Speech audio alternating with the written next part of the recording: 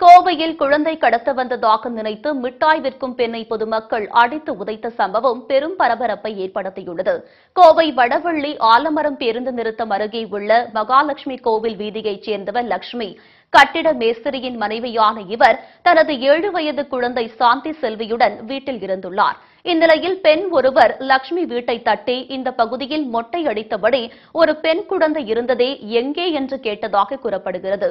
இதனால் திடுக்கிட்ட லக்ஷ்மி குழந்தை கடத்தல் நபரா இருக்குமோ என்று பயந்து சத்தம் போட்டுள்ளார். இதனையடுத்து அங்கு வந்தவர்கள் சிலர் அந்த பெண்ணை சரமாரியாக தாக்கி இரண்டு கைகளையும் கட்டி வடவள்ளி காவல் நிலையத்திற்கு அழைத்து வந்தனர்.